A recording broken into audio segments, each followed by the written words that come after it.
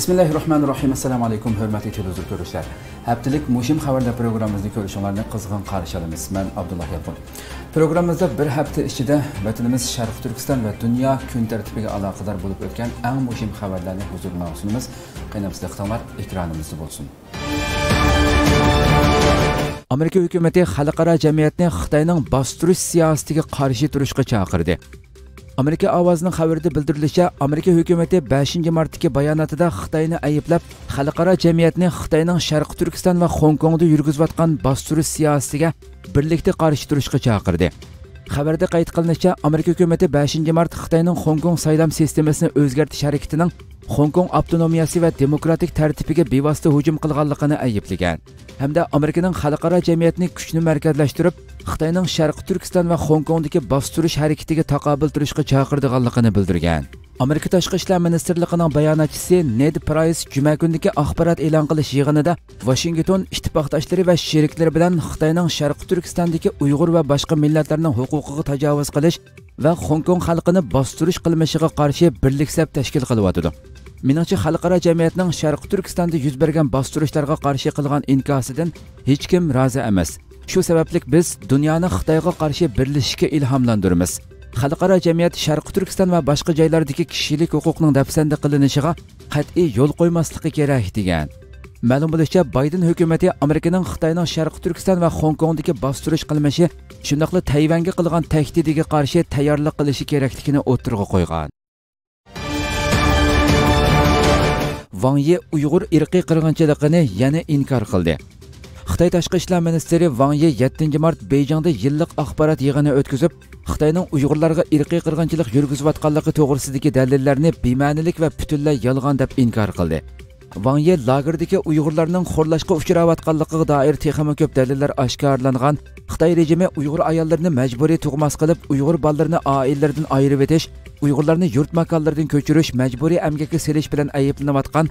Amerika kanada gollandiya qatorliq davlatlar xitoyning bu harakatini irqiy qirg'inchilik deb e'tirof qilgan bir mezgilda bu so'zlarni qilgan. Bbc yaqinda xitoyning uyg'urlarni majburiy amgakka selayotganligi lagerdagi ayollarni xo'rlab ularga sistemalik bosqinchilik qilayotganligini oshkorlagan edi. Xalqaro qonunshunoslar xitoyning rayondagi bostirish harakatining birlashgan millatlar tashkiloti irqiy qirg'inchilikning oldini olish jazolash ahdinomasidagi moddalarga to'liq tushadiganligini bildirgan. Reuters agentligining qayd qilishicha vang ye shinjongdagi atalmish irqiy qirg'inchilik kulgilik darajada bema'nilik bu yomon g'arazlik bir fitna va butunlay yolg'on degan. Ван Ye Xitoyning Uyg'urlarga hozir irqiy qirg'inchilik qilayotganligini inkor qilib qolmay, balki g'arb davlatlarini indiyalar, afrikaliklar, yahudiylar va oborjinlarga irqiy qirg'inchilik qilish bilan ayblagan. U irqiy qirg'inchilik deyilsa, ko'p qism kishilarning aqliga 16-asrdagi Shimoliy Amerikalik yerliklar 19-asrdagi afrikalik qullar 20-asrdagi yahudiylar va hozirgacha kurash qilayotgan avstraliyadagi oborjinlar keladi degan u yana kishilarning shinjongni ziyorat qilishini qarshi oldiganligini bildirgan. Lekin xitoy rejimi birlashgan millatlar tashkiloti kishilik huquq oliy komissarining sharq turkistonni tekshirish elib berish iltimosiga shart qo'shib uning xohlagan joyni to'sqinliksiz tekshirish talabini rad qilib kelgan edi. Fransiya xitoyning qilmishlari haqida dalil isbotlarning to'liq ekanligini bildirdi.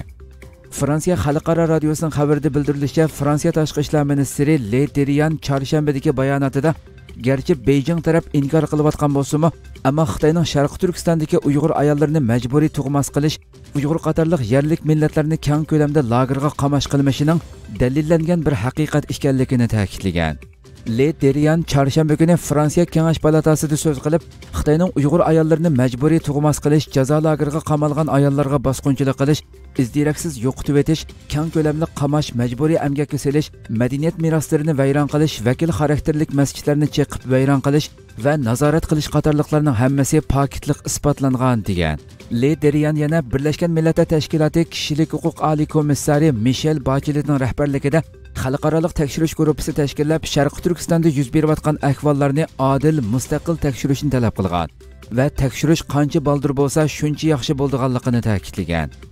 U so'zda yana fransiya shirkatlaridan hushyorlikni o'stirib xitoy shirkatlarining uyg'urlarni majburiy ishiltib kishilik huquqiga daxli taruz yetkazish qilmishiga orlashib qilishdan saqlanishini talab qilgan.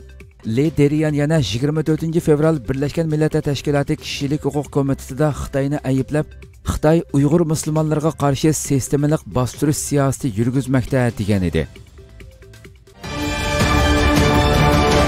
Harbiy qo'mondan filip davidson xitoy amerikaning o'rnini egallash planini tiziltibyotidi dedi.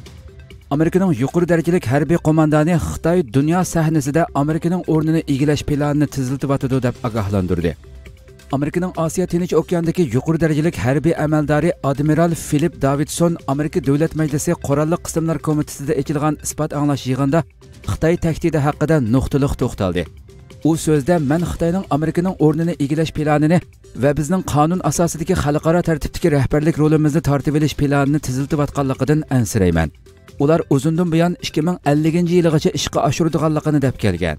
Manchi ular nishoniga intayin tez yaqinlashyotidi deganlarni bildirdi. Admiral filip davidson yana xitoyning kelgusi 6 yilda tayvanni besib olishi mumkinligini ogohlantirgan. U so'zida tayvan aniqki ularning nishonlarining biri. Man bu tahdidni oldimizdagi 10 yilda hatto kelgusi 6 yilda o'zini ko'rsatadi deb qarayman degan u 9 mart seshanba kuni echilgan isbot anglash yig'inida xitoyni 21 asrning xavfsizligiga bo'lgan eng uzun muddatli strategiyalik tahdid deb amerika beyjing paydo qilayotgan tahdidlarga qarata diqqatni oshirishi ilgirki sal qarash pozitsiyasini takrorlamasligi kerak degan. Davidson shu kungi so'zda yana xitoy taraqqiy qildirayotgan sistema va iqtidorlarning uning tajovuzchilik xarakterini ochiq ko'rsatib beradiganligini xitoy o'zini kuchlik o'rinda deb qaragan hamon uni cho'qim qo'llanishga urindiganligini bildirgan. U buningga misol ko'rsatganda xitoyning Hong Kongda sharqi turkistonda qilayotganlarini va hindiston bilan bo'lgan chegara to'qinishidagi pozitsiyalarini misolga ilib bundan keyin o'xshash ishlar guam va tayvanda yuz berishi mumkin degan. Istanbuldagi xitoy bosh konsulxonasi oldida keng ko'lamlik axborot e'lon qilish yig'ini o'tkazildi. 8 mart xalqaro ayollar kuni munosabati bilan istanbuldagi xitoy bosh konsulxonasi oldida xitoyning sharqi turkistonda yurgizayotgan irqiy qirg'inchilik jinoyatiga jumladan qiz ayollarga qarata ijro qilayotgan inson qilibidan chiqqan qilmishlarga qarshi axborot e'lon qilish yig'ilishi o'tkazildi. Faoliyatni xalqaro sharqi turkiston tashkilotlar birligi tashkillagan bo'lib ko'p sonliqi ayollardan tashkillangan 3000 ga yaqin kishi ishtirok qildi. Qo'llarida sharqi turkiston bayrog'i ota onalarining oila a'zolarining urug' tuqqanlarining suratlarini xitoyning jinoyatlari tunishtirilgan plakatlarni ko'targan namoyishchilar xitoy lagerlarini taqa. Ota onamiz qayerda? Fashist xitoy terrorchi xitoy qirg'inchilikni to'xtat. Sharqi turkistonga mustaqillik. Musulmon ayollarga egichiq zulmda qolgan ayollar bu yerda ayollar huquqi qayerda degandek shiorlarni tovladi. Sharqi turkiston nuzgum kultur va oila jamiyatining raisi munavvar o'z uyg'ur xonim xitoyning sharqi turkiston xalqiga bo'libmi ayollarga yurgizayotgan terrorlik siyosatiga qarshi bayonotini o'qib o'tdi. U bayonotida xitoyning sharqi turkistonda ayollarga ijro qilayotgan bostirish qirg'inchilik yurgizish majburiy tug'mas qilish qatorliq jinoiy qilmishlari tasavvur qilg'usiz darajaga yetdi. Sharqi turkistondagi qiz ayollar dunyodagi eng ig'ir kunlarni boshdan kechirmoqda deganlarini bildirdi. U bayonotida yana xalqaro jamiyatni islom dunyosini va birlashgan millatlar tashkiloti qatorliq xalqaro organlarni xitoyning sharqi turkiston xalqiga ijro qilayotgan irqiy qirg'inchilik jinoyatiga qarshi xitoyga xalqaro embargo yurgizishga chaqirdi. Yig'ilishga turkiyadagi hijob safarbarlik munbiri ihoha insoniy yordam vaqfi qatorliq tashkilotlarning vakillari qatnashgandan sirt jurnalist marva shabnam o'ruch xonim advokat guldan so'nmaz xonim Hurdava partiyasi istanbul sho'basi ayollar bo'limi mas'uli munavvar aqtash xonim rafoh partiyasi istanbul sho'basi ayollar bo'limi mas'uli shukron aras qatorliqlar so'z qildi ular so'zlarida uyg'ur xalqining jumladan uyg'ur ayollarining ig'ir kunlarni boshdan kechirayotganligini butun dunyo xalqining buningga sukut qilmasligi kerakligini shundoqla muhojiratdagi uyg'urlarning bugungidek ig'ir kunlarda bo'linmaslikka texmi qattiq birlashishga ehtiyojli ekanligini ta'kidlashdi avstraliya razvedka aeroplani xitoyning havo mudofaa farqlantirish rayoniga kirdi. Fransiya xalqaro radiosining xabarida bildirilishicha avstraliya havo armiyasining razvedka aeroplani xitoyning havo mudofaa farqlantirish rayoniga kirib xitoyni g'azablantirdi. Xabarda qayd qilinishicha 2 mart atigan avstraliya havo armiyasining p 8 a tipliq razvedka aeroplani yaponiyaning okinavadagi kadina bazasidan uchib sharqiy xitoy dengiz havo mudofaa farqlantirish rayoniga kirgan. Koreya taratqullari xitoyning bu sababdan qattiq norozilik bildirganligini oshkorlagan bo'lsimi ammo xitoyning inkos orqali qandoq o'ch oladiganligi haqidagi tafsilotlar tilga ilinmagan xitoy taratqullarining xabariga qaraganda avstraliya havo armiyasining razvedka aeroplani sharqiy xitoy dengiz havo mudofaa farqlantirish rayoniga kirgan. Avstraliya amerikaning xitoyni cheklash uchun ko'p taraflik bexatarlik mexanizmi a'zolarining biri ekan. Bildirilishicha p8a dengiz charlash aeroplani yuqori iqtidorli radar saplangan razvedka aeroplani bo'lib suv osti paraxotini iz qo'g'lash qatorliq vazifalarni o'rinlash uchun ishlatilgan. Amerika charlash aeroplanlari doim xitoy davlat mudofaa havo farqlantirish rayoniga kirib chiqadi ekan ammo avstraliya havo armiyasi aeroplanining bu xil harakati nihoyatda oz uchraydi ekan ma'lum bo'lishicha avstraliyaning 60 mingdan ortiq askari bor. Ammo xitoy kuchining kengayishiga taqobil turish uchun 10 yil ichida jang unumini kuchaytirish uchun 223 trillion von mudofaa mablag'i selishni planlagan. Avstraliya bosh ministri morrison bu haqda to'xtalib avstraliya ikkinchi dunyo urushidan buyon ko'rilib boqmagan rayon xarakterlik raqobatga duch kelyotidi degan. Xitoyning mudofaa xomchotini oshirishi diqqat qo'zg'adi. Germaniya ovozining bugungi xabarida bildirilishicha janubiy dengizdagi hindiston xitoy chegarasidagi vaziyat jiddiylashgan bir paytda xitoyning mudofaa hamkorligini oshirishi diqqat qo'zg'agan.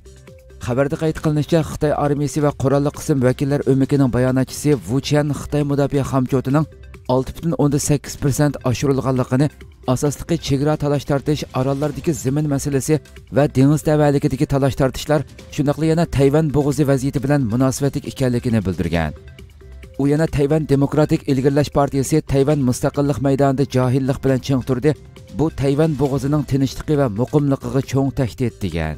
Bildirilishicha amerika tashqi ishlar ministrligi xitoyni tayvanga qaratgan harbiy besimni to'xtatishga chaqirgan. Xitoy taraf buningga javoban tayvan masalasi xitoyning ichki ishi chet elning aralashishiga yo'l qo'yilmaydi degan so'zni takrorlagan. Xitoy bayonotchisining oshkorlashicha xitoy 2021 yillik mudofaa hamkoti 1 milliard 379 million 544 ming yuan bo'lib oldingi yildagiga selishtirganda 6,8 persent oshgan. Bu chiqimlar mushim turlarining yo'lga qo'yilishiga kapolatlik qilish qurollarning darajasini o'stirishni tiziltish va qurol jabduqlarni yangilash harbiy mashqni zamonaviylashtirish o'zgartishni tiziltish mashq sharoitini yaxshilash askarlarning turmushi va farovonligini yaxshilash qatorliqlar uchun ishlatilgan. Germaniyaning xilsindagi tinchlik va to'qinish tadqiqot o'rni mutaxassisi paskal ab bu haqda to'xtalib xitoyning harbiy xarajati sharqiy osiyodagi nurg'un davlatlarning yig'indisidan eshib ketdi bu davlatlarning xitoy bilan zimin mojarosi bor degan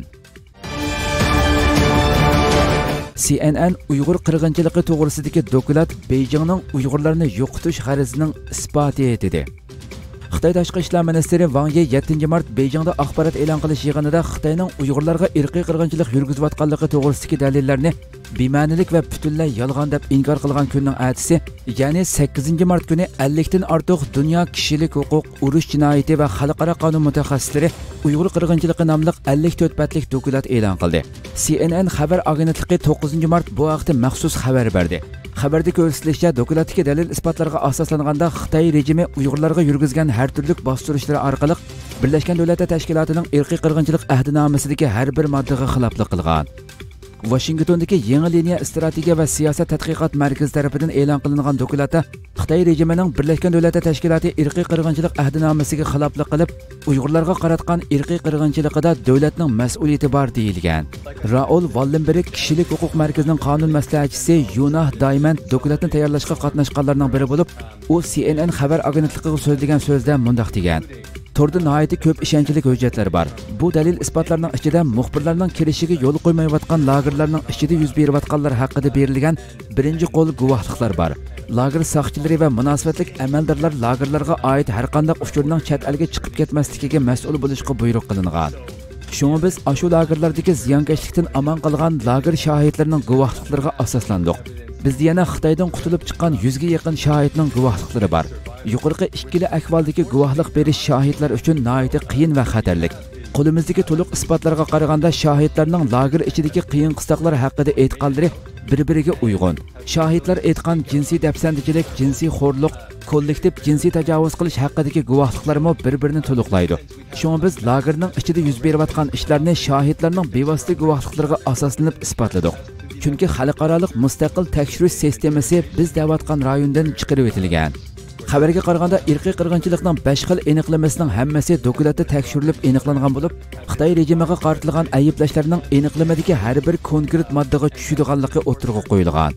Analizchilar dunyodagi ikkinchi cho'ng iqtisodiy gavda hisoblanadigan xitoyning xalqaro tartibga ig'ir xiloflik qilishi yer sharining boshqarish sistemasida masala borligini ko'rsatdi deb qaramoqda ular yana har qaysi hukumatlarga agar bu dokument davlat rahbarlarini qo'zg'ashga yetmasa undaqda amaliy harakatga o'tish uchun yana nima kerak degan savolni qo'yishmoqda.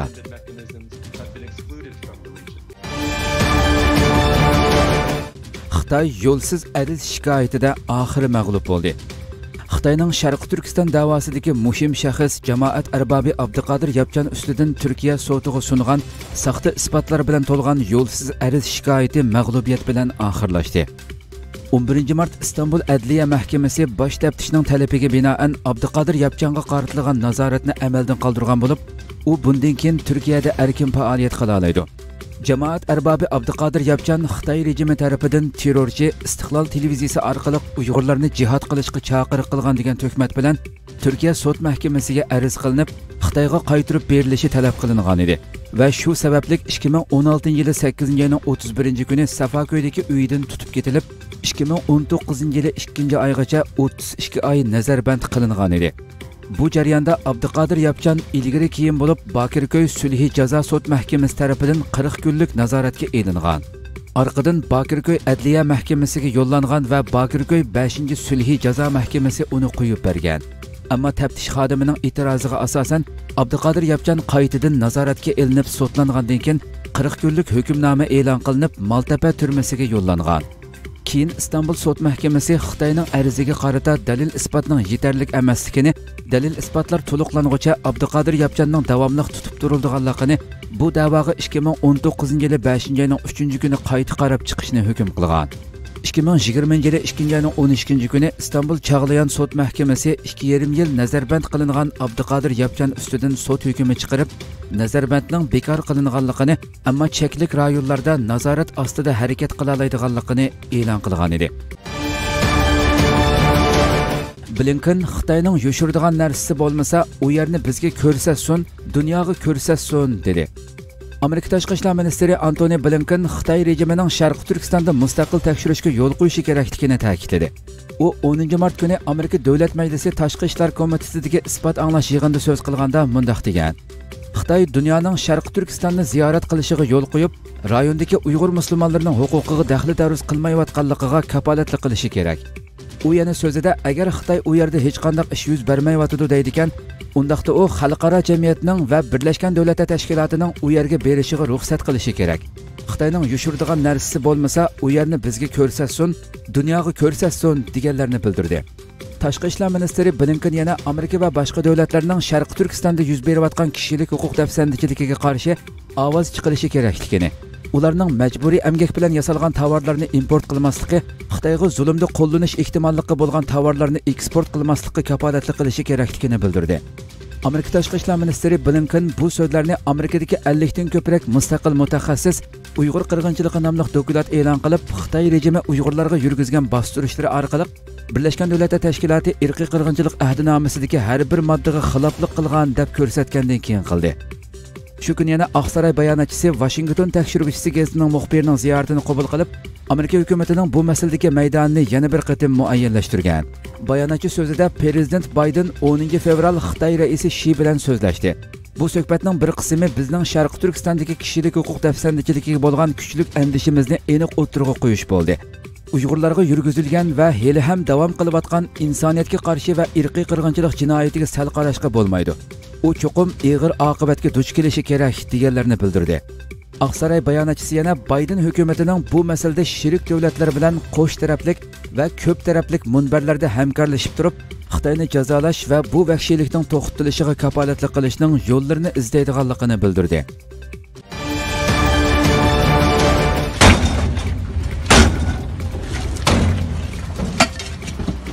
Istanbulda shifrliq pul shaykisiga qarshi harakatda 119 xitoy qo'lga ilindi bugun istanbulning silivri rayonida xitoyning zo'r aldamchilik shaykisi bitchit qilindi. 13 mart istanbul jamoat xavfsizligi idorasi qoqti so'qtiga qarshi bosh atritidan 30 gruppa va 100 saqchi qatnashgan tuyuqsiz bostirish harakatida 101 xitoy xizmatchi va ularni xizmatga solgan 18 xitoy kattabashni o'z ichiga olgan jami 119 jinoyat gumondori qo'lga olindi. Mazkur jinoyat shoykisi istanbulning silivri rayonidan 9 ayrim dacha ijaraga elib shifrliq pul mulozimat markazi qurgan bo'lib 18 xitoy kattibosh xizmat va'dasi bilan xitoydan kompyuter injeneri va programmerlardan 101 xitoyni turkiyaga elib kelgan va ularning pasportini tortib olib majburiy ishlashga zo'rlagan shundoqla ularning dojidan sirtqi chiqishini cheklagan. Igilinishcha to'rda xitoylarga shifrliq pul maslahatchiligi beradiganligini tashviq qilgan jinoyat shaykilari kishilarni bizga mavhum pulingizni bering. Biz ikki hassa foydasi bilan sizga qaytaramiz deb xaridorlarni oldigan. Tekşürüşte jinoyat şaykısının soxta şifirlik pul maslahatchiligi orqali xitoyda yashaydigan puhralarını oldiganligi aniqlangan. Jinoyat şaykısının oshkorlanishiga mazkur dachada majburiy ishlatilgan iki xitoy sababchi bo'lgan bo'lib ular kechada o'g'irliqchi dachidan chiqib eng yaqin soqchixonaga bargan va o'zlarining majburiy ishlashga majburlanganligini va yana nurg'unlagan kishilarning dachida ekanligini aytgan. Bu ma'lumotga asosan jamoat xavfsizligi idorasi qoqti qarshi bosh atriti 30 gruppa va 100 soqchi bilan mazkur bostirib kirish harakatini ijro qilgan. Tekshirishda xizmatchi xitoylarni majburiy ishlatgan 18 jinoyat kotibishi qo'lga ilingan bo'lib ziyonkashlikka uchrag'uchi deb bekitilgan va turkiyaga sayohat vizasi bilan kirganligi aniqlangan qolgan xitoylar xitoyga qaytirilish uchun ko'chmanlar idorasining munosabatlik tutib turish markazlariga avatilgan. Bu qadimliq harakatda 1,5 million lira naqd pul 712 yonfon 112 kompyuter 677 yonfon kartasi pul sanash mashinasi va nurg'un qattiq diskalar qo'lga tushirilgan. Sud mahkamasiga chiqarilgan 18 xitoyning oltisi sud mahkamasining qarori bilan qo'lga ilinib turmaga avatilgan bo'lib qolgan xitoylarning delosini bartaraf qilish davomlashmoqda ekan. Qadrli ko'rganlarimiz shunday qilib bu haftalik muhim xabarlar programmamiz mush yerda oxirlashdi. Hafta oxiridagi dam olishinglarning e, xayrli o'tishiga tilakdoshlik bildirish bilan atigi kundalik xabarlarimizni ko'rishgacha omon bo'lg'aysizlar qilib ekran orqasidagi barliq xizmatdoshlarimga ko'pdan ko'p rahmat aytaman. Assalomu alaykum va rahmatulloh.